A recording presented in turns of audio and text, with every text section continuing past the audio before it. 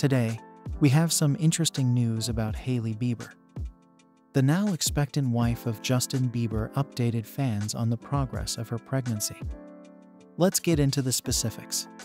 27 year old Hailey stopped by the Rhode skincare brand's headquarters and made sure to take a selfie.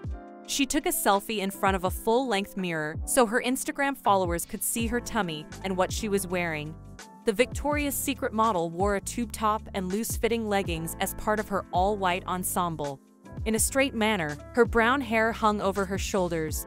Even though she was inside, she covered her eyes with dark sunglasses. Posing, she held one leg out to the side and placed a palm on her hip. During the first trimester, the founder of Rhode Skin and Justin took extreme caution to keep their baby news private.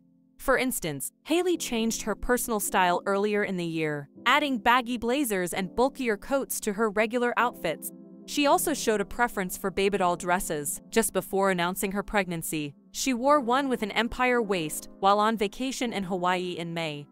However, Hailey no longer feels uncomfortable showing off her baby bump.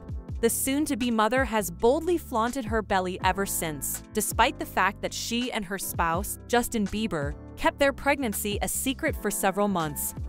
The 30-year-old Justin and the 27-year-old rekindled their summertime romance, and in September 2018, they were married at a courtroom in New York City.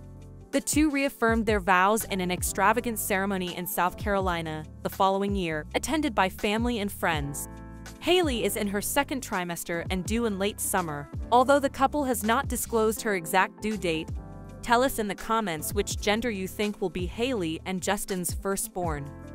Don't forget to smash the like button and subscribe to the channel for more updates on what's happening with your favorite stars.